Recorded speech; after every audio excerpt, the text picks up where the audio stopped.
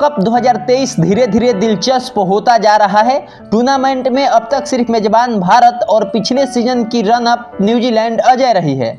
दोनों टीमों ने चार चार मुकाबले खेल लिए हैं, जिसमें टीमों ने सभी में जीत अपने नाम की है।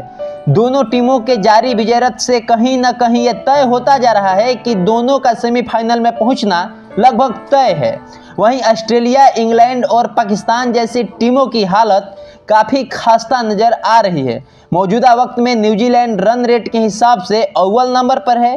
वहीं टीम इंडिया आठ पॉइंट के साथ दूसरे नंबर पर काबिज टेबल में टॉप चार में रहने वाली टीमों के बीच सेमीफाइनल मुकाबले खेले जाएँगे।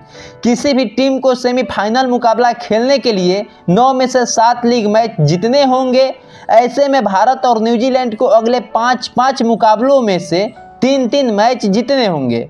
वहीं टूर्नामेंट के फेवरेट कही जाने वाली पाकिस्तान, इंग्लैंड और ऑस्ट्रेलिया पॉइंट टेबल में क्रमशः चौथे, पाँचवें और छठे नंबर पर मौजूद हैं। वहीं साउथ अफ्रीका के टीम की तीन में से दो मैच जीतकर तीसरे नंबर पर मौजूद है। बताया था कि भारत और न्यूजीलैंड के बीच 22 अक्टूबर रविवार को धर्मशाला में आमने सामने होंगी।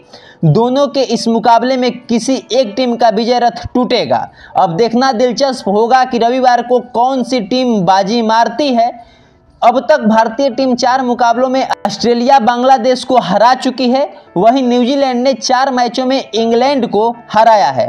भारतीय क्रिकेट टीम के कप्तान रोहित शर्मा के लिए विश्व कप 2023 अब तक के बेहतरीन गुजरा है तो खुद भी फॉर्म में है। और टीम को अच्छी शुरुआत से रहे तो वहीं टीम भी अच्छा प्रदर्शन कर रही है।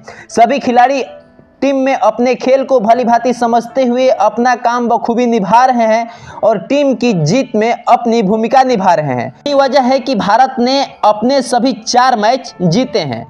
बांग्लादेश के खिलाफ मैच में भारत को एक बड़ा झटका लगा। बांग्लादेश के खिलाफ अपने ही गेंद पर फील्डिंग के दौरान हार्दिक पांड्या को चोट लग गया और इनके टखने में चोट के वजह से लगभग एक सप्ताह के लिए क्रिकेट से बाहर हो गए। 22 अक्टूबर को न्यूजीलैंड के खिलाफ होने वाले मैच में हार्दिक नहीं खेलेंगे। रिपोर्टों के मुताबिक हार्दिक 29 अक्टूबर को इंग्लैंड के खिलाफ होने वाले मैच में वापसी कर सकते हैं। हालाँकि ये खबर रोहित शर्मा के लिए राहत भरी खबर है।